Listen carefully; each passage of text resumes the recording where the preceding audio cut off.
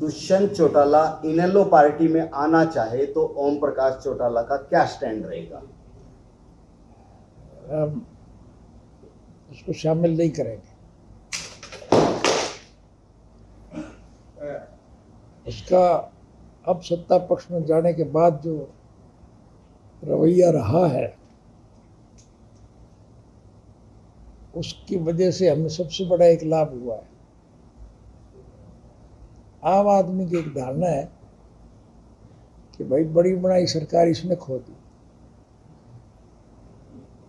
ये इतना बदनाम हो गया कि कहीं जा नहीं सकता। इसकी सभाओं में भी इसके खिलाफ आप देखते हैं कि लोग चले जाते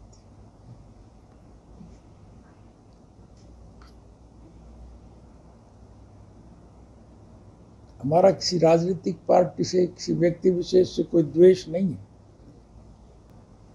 चौटाला जी जननायक जनता पार्टी का कार्यकर्ता आपको नेता ज़रूर मानता है लेकिन किसी कारणवश वो इनेलो छोड़ के चला गया। तो उन कार्यकर्ताओं के लिए आपका कोई संदेश क्योंकि वो आपको नेता ज़रूर मानता है लेकिन फ़िलहाल दूसरी पार्टी नहीं वो कैसे कोई गया होगा?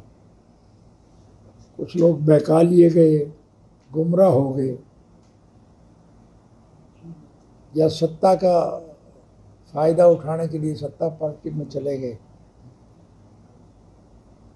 वो आज आम नागरिक से भी ज़्यादा परेशान स्टेज पे उनको बैठने की जगह नहीं मिलती। नीचे लोगों में बैठे अगर कोई सुनते हैं और कुदरती खड़े होकर चले गए तो फिर उस कुर्सी पे कोई और आके बैठ जाता है उनको बैठने नहीं देते। वो दुखी है, परेशान है।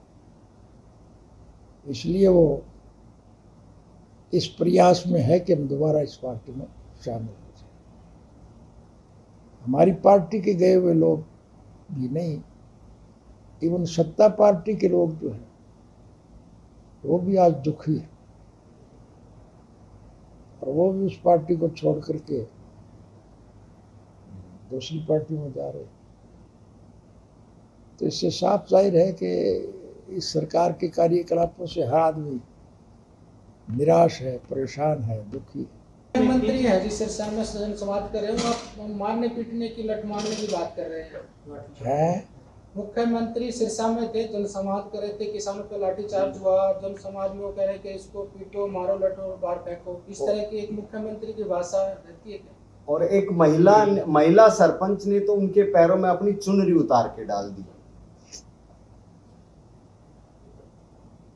अगर सही मायनों में हम बात करें तो ये तो सरकार तो है ही नहीं।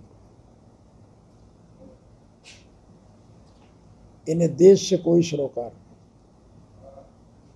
जनता से कोई प्यार नहीं।